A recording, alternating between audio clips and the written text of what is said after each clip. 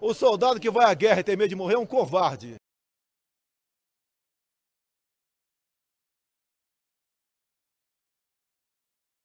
O soldado que vai à guerra e tem medo de morrer é um covarde. O pré-candidato do PSL à presidência da República, deputado Jair Bolsonaro, decidiu não participar de debates no primeiro turno.